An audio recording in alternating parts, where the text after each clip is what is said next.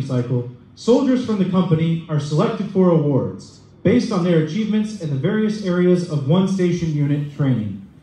All of the soldiers in the company are eligible for these awards and have competed for them over the past 22 weeks.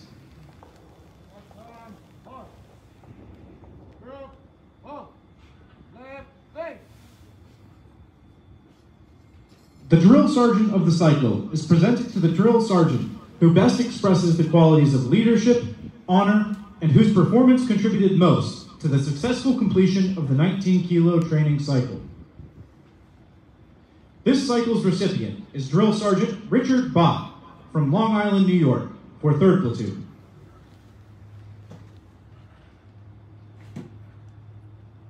The Association of the United States Army Patent Award is presented to the soldier of each training cycle who best expresses the qualities of leadership, honor, initiative, loyalty, high morale, courage, positive attitude, and consistent competitive spirit, which inspires peers and cadre. This cycle's awardee is Private Juan R. Soto from Londonderry, New Hampshire.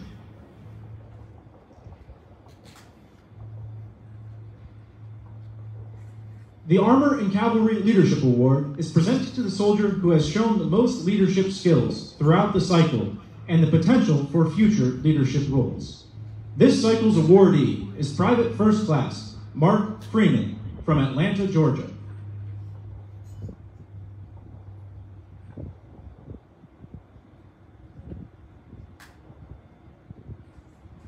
The High Physical Fitness Award is presented to the soldier who achieved the highest on the final Army Combat Fitness Test. This test includes 3 rep maximum deadlift, standing power throw, T push-ups, the sprint drag carry, leg tuck, and the 2 mile run. This cycle's awardee, with a score of 596 out of 600 points, is Private First Class Gregory S. Ducey from Elizabethtown, Kentucky.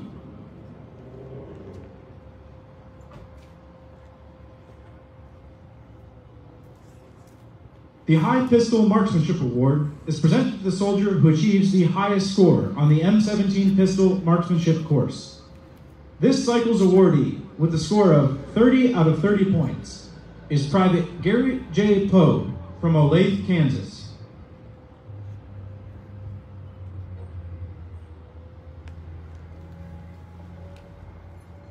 The High Rifle Marksmanship Award is presented to the soldier who achieves the highest score on the M4 Carbine Rifle Marksmanship course.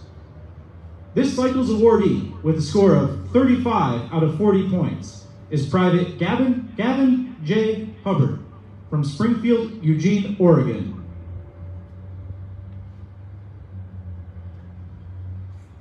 The instructor of the cycle is presented to the tank instructor who contributed most to the successful mission of training 19 kilo armor crewmen.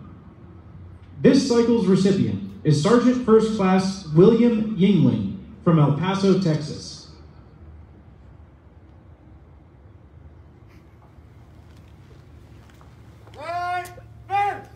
Ladies and gentlemen, please give a round of applause for all the awardees.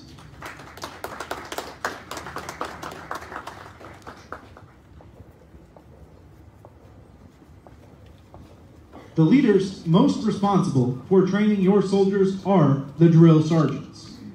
The Department of the Army carefully selects each drill sergeant from the top 10% of all staff sergeants and sergeants first class.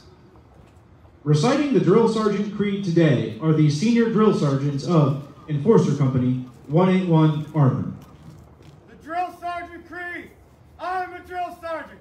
I will assist each individual in their efforts become a highly motivated, well-disciplined, physically and mentally fit soldier, capable of defeating any enemy on today's modern battlefield. I will instill pride in all I trade, pride in self, in the Army, and in country.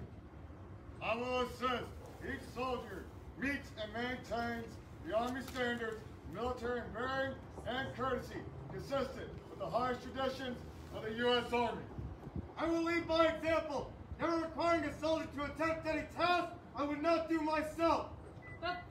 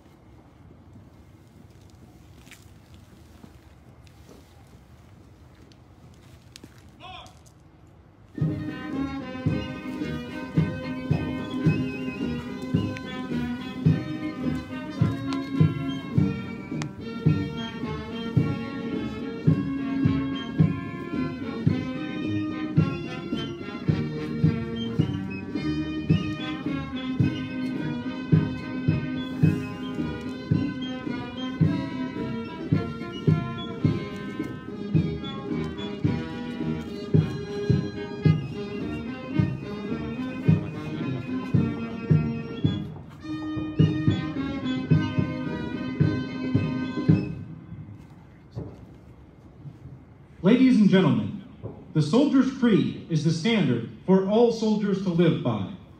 The Soldier's Creed helps soldiers understand that despite very diverse backgrounds, all soldiers are warriors and members of a team. We invite all soldiers, both past and present, to stand and join us as the Armor and Cavalry Leadership Awardee, Private First Class Marc Freeman, will lead his fellow soldiers in reciting the Creed.